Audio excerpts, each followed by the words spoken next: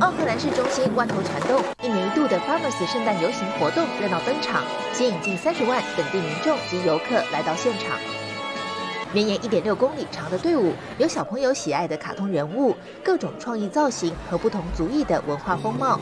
作为奥克兰最具指标性的年度社区活动，Farmers 圣诞游行今年已经迈入第九十年。This is the first one. It was great. It was lots of really great parades, um, lots of really great characters, and the kids had lots of fun.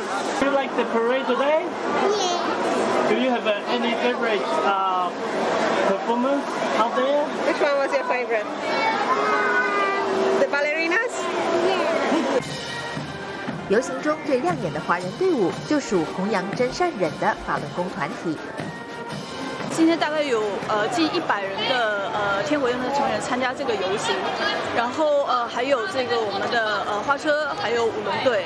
呃，我们希望通过这个呃圣诞节游行，把这种节日的气氛，还有法轮大法的美好带给新西兰的民众。新唐人电视台记者卢天长，新西兰奥克兰报道。